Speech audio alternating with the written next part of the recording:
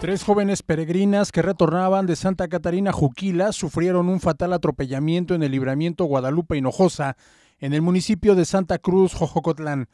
Esmeralda de la Cruz Monterrosa, de 18 años, es la joven que perdió la vida, mientras que su hermanita Yadira, de 13 años, y su prima Yesenia resultaron lesionadas. La policía informó que el responsable del accidente huyó y abandonó la camioneta en la colonia Esquipulas. Las víctimas formaban parte de un grupo de peregrinos del pueblo del Palmarito, Puebla. Con información de MBM Televisión.